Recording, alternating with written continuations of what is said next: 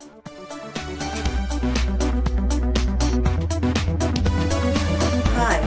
this is your instructor, Teresa Pelkie. Welcome to our class.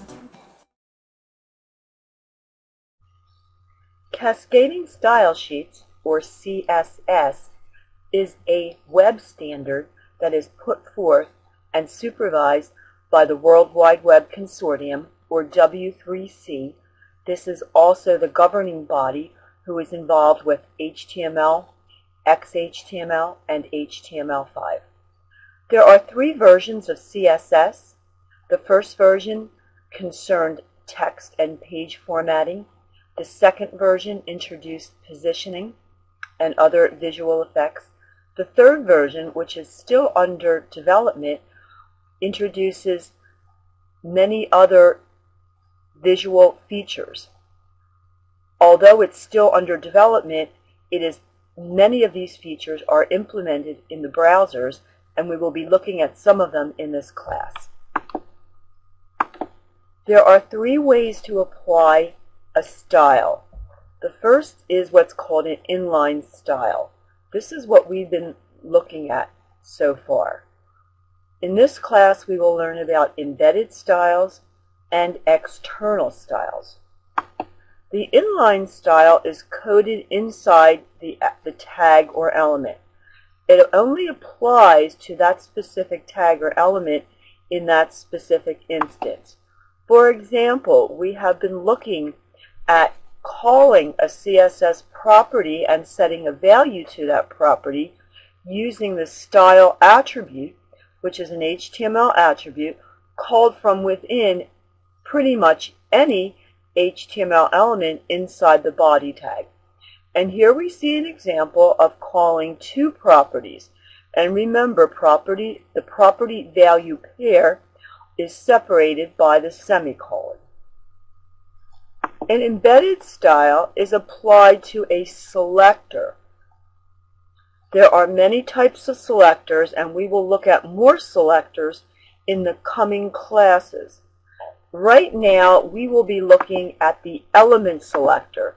So an HTML element can be used as a selector. When we apply a style to a selector, it will be applied to all occurrences of that selector in the document.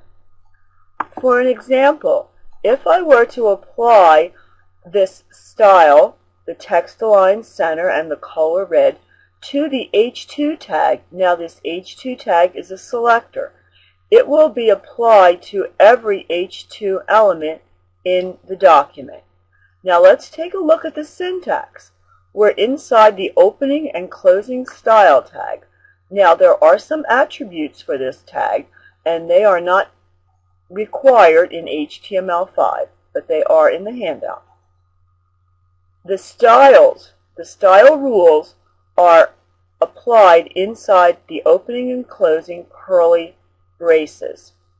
Now you can write them down, you can write them across. Here again, the spacing does not matter. So one advantage of using a selector is that it eliminates repetition. Supposing we had three H2 tags in our document and we wanted to make them all red. Well, we would get tired of writing style equals color colon red. And supposing we wanted to change it to blue, we would have to go back and change it all across the board. By using a selector, we can establish a rule once and we can change it at our leisure.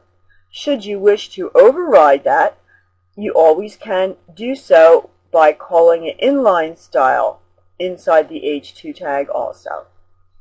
Okay, so an external style an external style is nothing other than taking the embedded styles out of the document and storing them in a external file, which is a text file with the .css extension. Now we don't use the, uh, the opening and closing style tags. We just take the styles out. And I will demonstrate in that this in the lab video.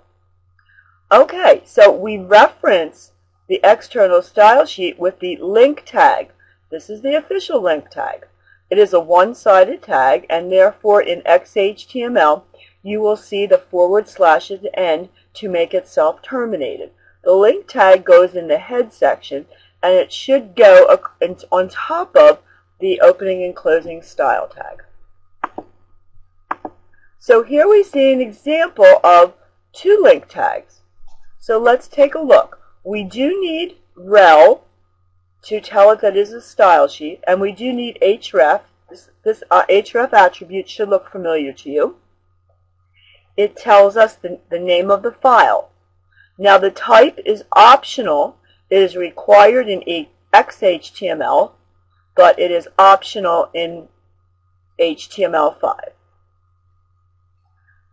Notice that we can have multiple link tags. We can have external styles, we can have an embedded style, and we can also have inline styles all going on in the same web page. CSS comments, if you wanted to comment out your code for whatever reasons, for testing or for making notations, it is the forward slash asterisk for the opening, asterisk forward slash for the closing and that can be a single line or multi-lines.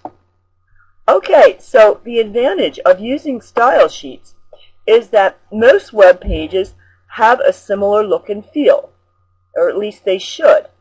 And so rather than coding the same thing over and over again, we can develop a set of styles, store it in an external file, and we can apply that style sheet to many pages. Therefore, should we need to make a change, we only need to change it in one place. This also gives us the ability to separate the content from the presentation. The presentation is all contained in the style sheet. Therefore, should we wish to write another style sheet for a portable device or another type of device, it is very easy for our website to be able to be, be viewed in that device. Also, by separating the content from presentation, it makes it much more easy for screen readers to interpret our HTML and also for other computer-based programs. Now, we also can have several styles applied to one document. And all of these styles would apply provided, of course, the elements or selectors exist in this document. All right, so which style takes precedence?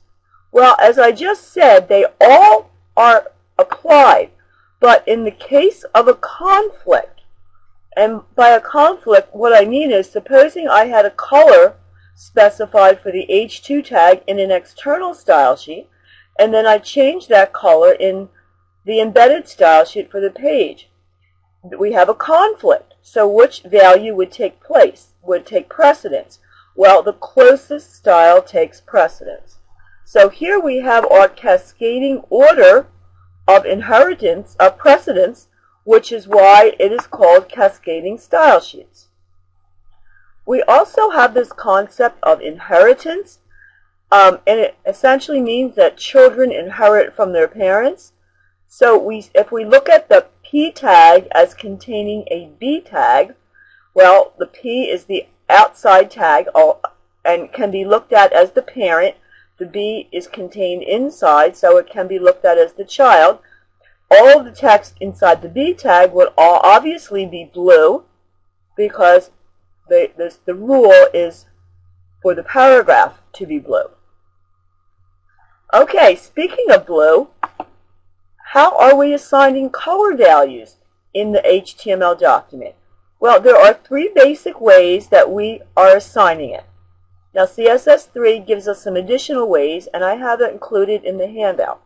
We're looking at an RGB triplet, a hexadecimal value, and a color name. When it comes to using a color name, you want to use the 16 basic colors. There are many other color names, and they are they do work, but they're technically not supported. You're not supposed to use them.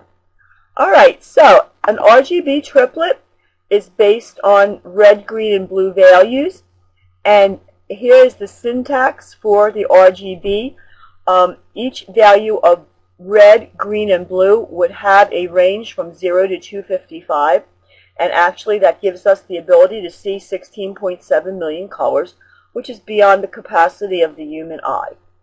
The hexadecimal value, on the other hand, is based on RGB, but those RGB values are converted into a base 16, which is a hexadecimal value.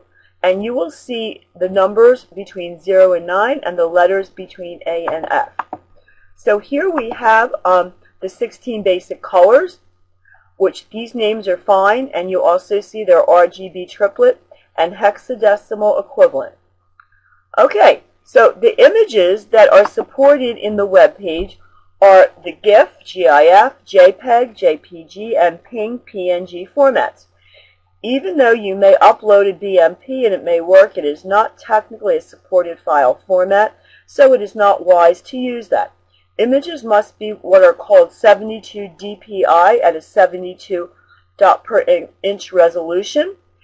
And I have some more information and a tutorial on the handout showing you how to convert.